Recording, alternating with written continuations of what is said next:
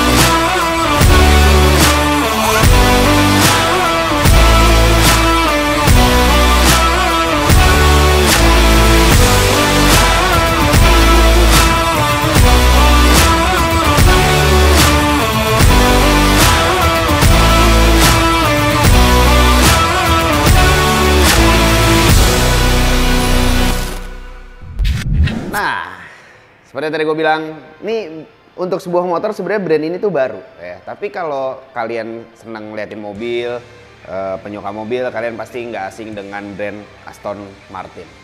Betul, karena ini adalah motor pertamanya Aston Martin yaitu AMB 001. Ya, jadi motor ini adalah kolaborasi antara eh, Aston Martin dengan Brav Superior. Ya, jadi Brav Superior itu eh, pabrikan motor yang udah lama banget sebenarnya. Dia kalau nggak salah di tahun 1919 gitu. Dan kenapa mereka akhirnya bisa berkolaborasi sih dengar-dengar karena eh, Brav Superior ini pengen bikin motor yang eh, elegan yang cantik gitulah ya, yang eksotis. Makanya mereka akhirnya menggandeng Aston Martin untuk, membuat uh, motor ini. Dan fun fact-nya, dulu salah satu uh, foundernya Aston Martin itu adalah rider dari Brav Superior ini di tahun 1920-an. Gitu. Nah ya, jadi uh, Aston Martin dan Brav Superior ini sebenarnya dulu sama-sama dari Inggris, cuman kemudian Brav Superior dibeli oleh uh, Prancis lah kalau nggak salah gitu sama perusahaan Prancis. Jadi sekarang base nya udah di uh, Prancis untuk si Brav Superior ini. Nah motor Aston Martin AMB 001 ini sebenarnya diperkenalkan itu di EICMA 2019 cuman memang baru diproduksi di 2020 dan uh, baru tahun lalu dan tahun ini kalau nggak salah itu baru didistribusiin ke para pemiliknya. Dan di sat, satu dunia lagi, di seluruh dunia cuman ada 100 motor ini. Dan kebetulan yang di depan gua adalah AMB 001 nomor 088. Uh, ini angka cantik banget nih, mantep banget ya. Dan di EICMA, EICMA yang baru kemarin 2022, sebenarnya Aston Martin juga udah um, memperkenalkan versi baru dari motor ini yaitu AMB 001 Pro. Cuma nanti aja kalau itu kalau udah ada di sini ya. Oke, ini langsung kita bahas aja ya. Jadi kita mulai dari mesinnya dulu kali ya. Ya. Jadi motor ini dibekali oleh mesin V-twin ya, V-twin 88 derajat eh, dengan kapasitas silinder 997 cc dari eh, Brav Superior ini. Dan dia itu juga udah uh, liquid cooled, jadi pakai uh, radiator. Ya. Dan yang menggilakan yang agak gila dan gak biasa, motor ini menggunakan turbo. Ya, jadi bisa dilihat di sebelah sini itu ada uh, turbinnya, turbinnya. Terus di sebelah kanan ini memang banyak sekali uh, perpipaan. Jadi yang ini knalpot ya, dari knalpot ini juga dari sini knalpot juga ya terus masuk ke sini ke turbin ya turbin dan ini baru keluar di pipa pembuangan. Nah, pipa pembuangannya yang lucu adalah bukan di sini, guys. Ya, jadi ini tuh sebenarnya cuman hiasan, nggak ada fungsinya. Jadi sebenarnya pembuangannya itu ada di bawah sini. Ya. Dan karena memang motor ini menggunakan uh, turbo, itu dia ada intercooler di bagian uh, bawah dari radiator. Ya, jadi walaupun dia V-twin, uh, karena kan biasanya V-twin mungkin spesialnya uh, powernya nggak gede ya. Cuman karena dia pakai turbo, uh, motor ini menghasilkan tenaga di 180 horsepower. Mungkin kalau buat uh, zaman sekarang tuh nggak nggak wah gitu ya, karena kan udah banyak 200 apa segala macam gitu ya. Tapi karena ini kan memang motor ya eksotik lah ya, eksotik dan balap. Nanti kita bahas. Pokoknya motor ini tuh motor ringan, jadi beratnya juga cuma 180 kg. Jadi power to weight rasionya motor ini bisa satu banding satu mengerikan gitu kan. Oke, sebelum lanjut uh, ngebahas motor ini, gue mau berterima kasih kepada Two Wheelers by Glamour Auto Boutique ya, yang sudah memperbolehkan kami RC Video untuk melihat keindahan kendaraan ini. Ya, terima kasih Two Wheelers. Oke, kita langsung bahas lagi motornya ya. Jadi yang gue mau bahas kali ini adalah dari desainnya. Seperti kalian lihat desainnya sangat slick, streamline banget ya kan dari depan ke belakang ah lekukannya tuh uh, bikin gemes gitu ya. Jadi semua body dari uh, motor ini itu menggunakan karbon ya karbon fiber dan gak sembarang karbon fiber.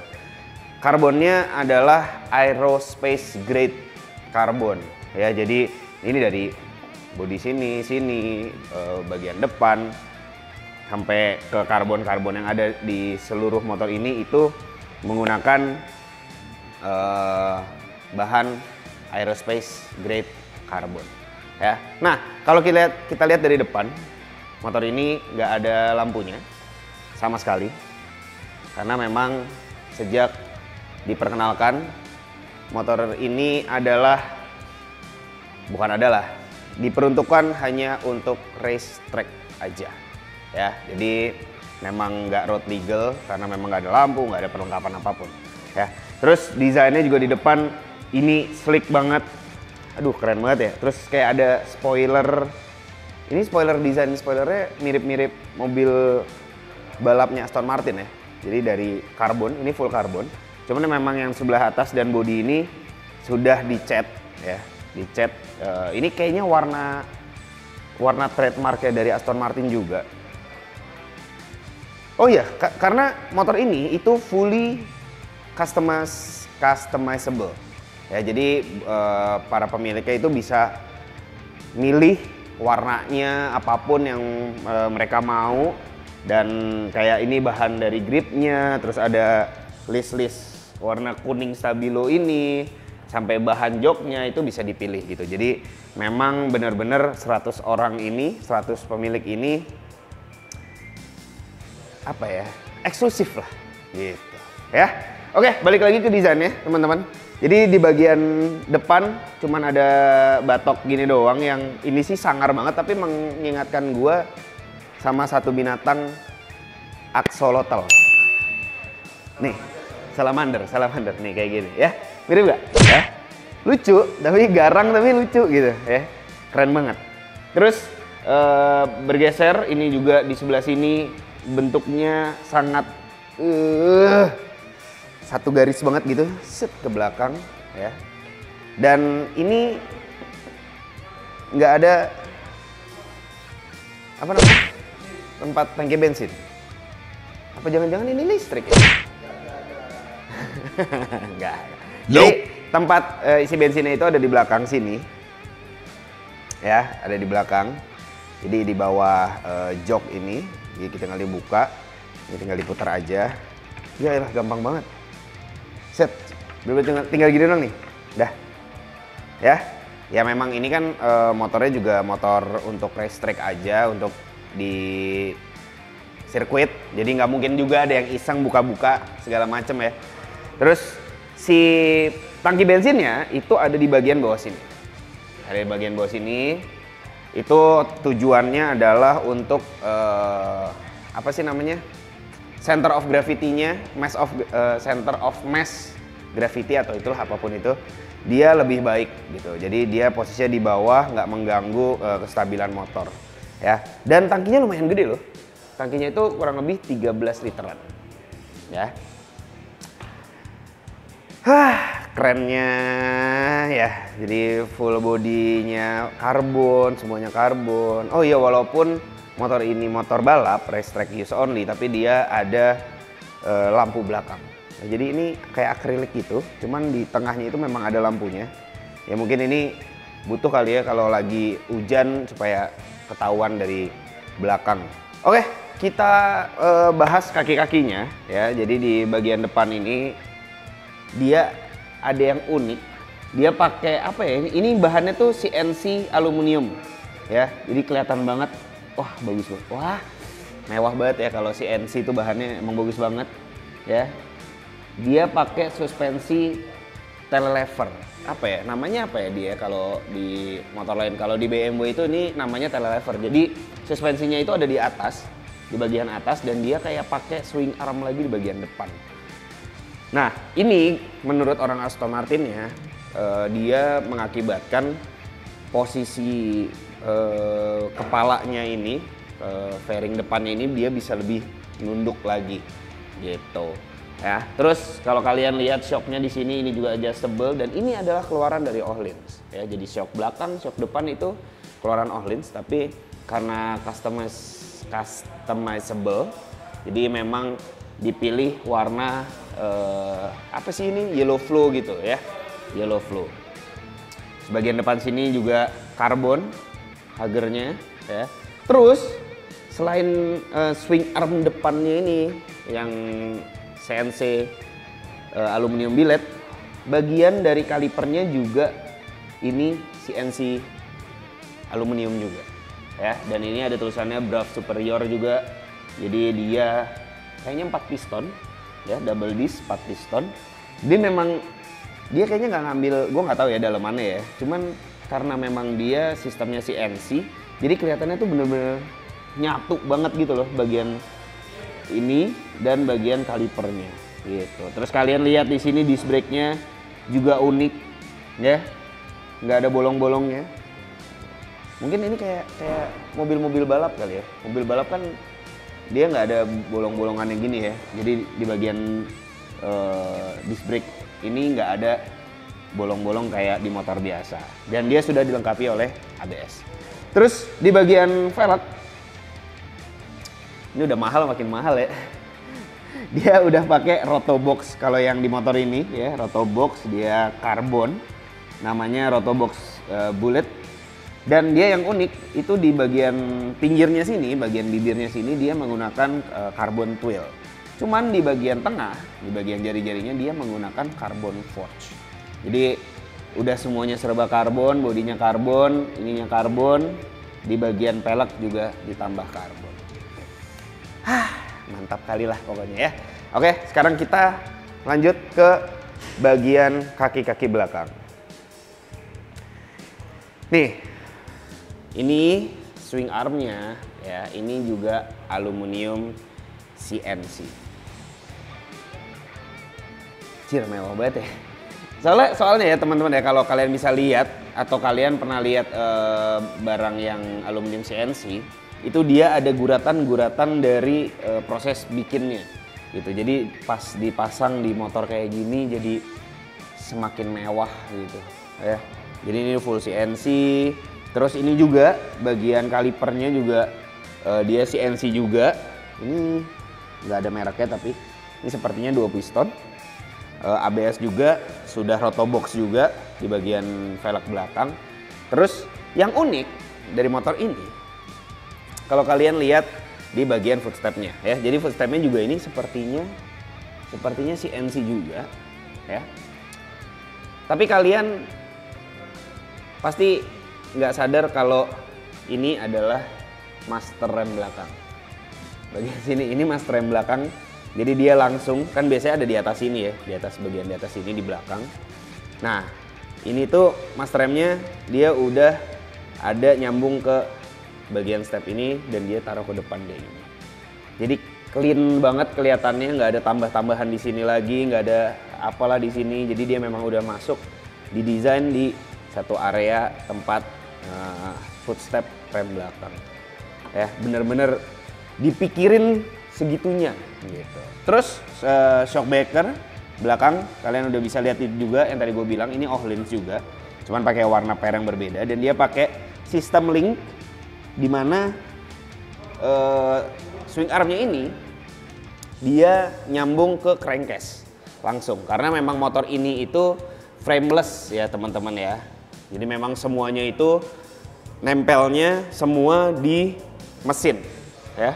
Kayak aluminium uh, swing arm ini langsung ke crankcase terus kalian lihat di sini uh, buat yang bodi bagian belakangnya juga uh, di head sini ya nyambungnya. Tuh. Dan di bagian stang juga ya jadi komstirnya ini ini juga nyambungnya ke head cylinder dari mesin V-nya gitu jadi memang tidak ada uh, tambahan frame maka dari itu mungkin bisa memangkas bobotnya sampai hanya 180 kg ya. Oke, itu udah dari kaki-kaki udah, dari uh, desain udah. Sekarang kita masuk ke bagian yang nggak kalah keren ya, yaitu bagian stang. Ini sini bagian stang. Gue pengen bahas bagian stang. Ya, nih kalau kalian lihat dari sini, stangnya tuh clean banget. Ya, minim banget. Minim kabel, kabel cuma ada di sebelah sini doang, ya kan? Di bawah itu pun di atas nggak ada reservoir, gasnya juga cuma gini doang, ya. Karena semua memang uh, udah disembunyikan ke dalam stangnya. Di mana stangnya ini juga kalau kalian lihat, ini juga uh, eh, CNC aluminium juga gitu ya. Jadi semua desainnya itu disembunyikan di mana reservoir reservoirnya itu ada di bawah sini nggak kelihatan ya tuh. Ini juga koplingnya juga udah hidrolik reservoirnya di sebelah sini ya. Terus ini juga ada throttle by wire jadi nggak perlu ada kabel gas. Jadi semua kabelnya udah di bawah semua terus yang kerennya nih ya dua-duanya master silindernya. Eh kok master silinder sih? Uh, master rem dan koplingnya itu udah uh, jadi satu di bagian stang.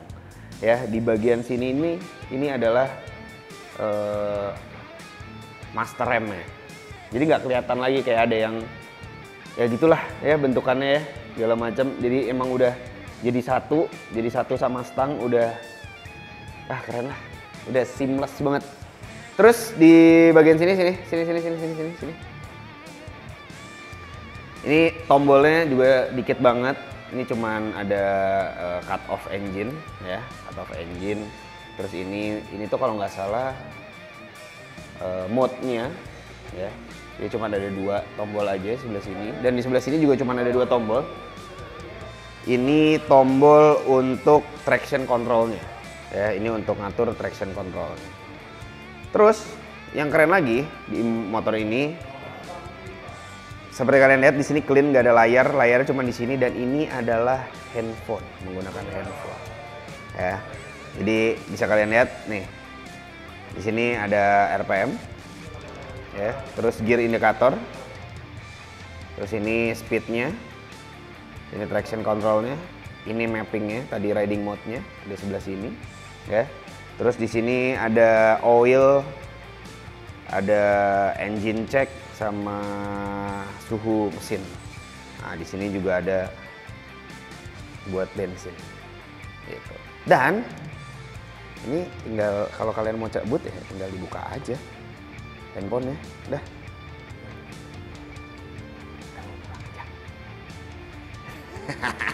Nah, ini uh, masih pakai Samsung yang lama karena memang uh, motor ini kan memang motor udah dua tahunan yang lalu.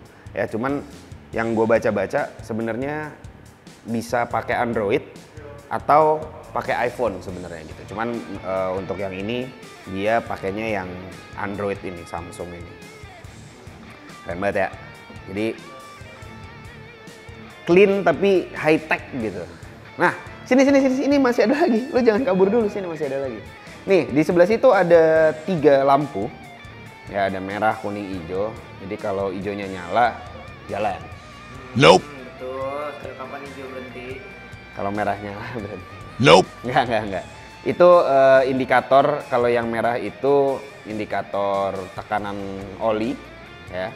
Kalau yang kuning itu eh, fuel indikator. Jadi kalau misalnya udah mau habis itu nyala, yang hijau itu netral. Gitu. Jadi memang semuanya itu ada di jadi eh, layar-layaran tuh nggak ada sama sekali di motor ini memang hanya di handphone ini aja. Ya. Oke. Apalagi ya teman-teman ya. Jadi motor ini adalah motor pertama Aston Martin yang nyampe sini harganya kurang lebih 3M. Wow, gitu biasa ada ada gitu ya ntar anjir ya. Ya, 3M dan race use only. Dengan kata lain, ini adalah pajangan seharga 3M. Tapi motor ini sayang banget gitu. Lu kayaknya mau bikin kotor gitu kan kayak ini, ya detail detail yang keren tuh detail-detail kayak gini nih. Ini si NC ya kan? Tuh, NC, ini si NC, ini juga si NC. Ya, tuh. Detail-detailnya tuh bagus banget. Sa- Sampai kayak ini kayaknya nggak mungkin dipakai deh. Kalau beli pun kayaknya nggak mungkin dipakai gitu. Udah udah 97% kayak pasti dipajang aja gitu kan. Cuman ada satu yang agak mengganggu sedikit di motor ini menurut gua ya. Itu adalah las-lasan knalpotnya. Kenapa las-lasannya bentuk kayak gini? Kenapa nggak rapi gitu loh? Ya, kayak dibikin ini ah, ini kayaknya di sama eh, produsen-produsen knalpot lokal bisa lebih baik kali. Ada satu fitur yang bikin geleng-geleng dari motor ini. Ya, seperti kalian lihat kan, tadi kan di sini simple banget. Nggak ada kunci, nggak ada apa, nggak ada bolongan, nggak ada layar. Eh, Sini. Sini. Sini, sini, sini, sini, sini, dekat, dekat, dekat, dekat, dekat, dekat, sini, sini, dekat, dekat, dekat, sini, sini, sini. Kalian tahu ini apa? Ini kunci on off dari motor ini. Beneran? Ya. Beneran, jadi nyalain dan matiin motor ini dari sini. Enggak maksud gue kayak, kenapa nggak dibikin tombol gitu yang start stop engine gitu atau? Mainan ceritanya mobil. switch gitu i- iya ngerti kan tapi maksud gue